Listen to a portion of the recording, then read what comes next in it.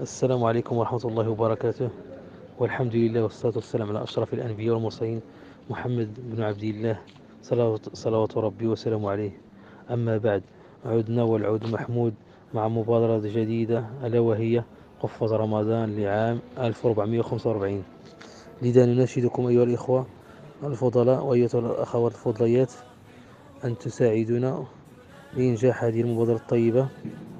فشهر رمضان الصدقة فيه خير من سائر الشهور وفيه عتقاء من النار فلا تبخلوا علينا كما عهدناكم يدخل السرور والحبور والبهجة على محيي الفئة المعوزة من أرامل وأيتام وجزاكم الله خيرا.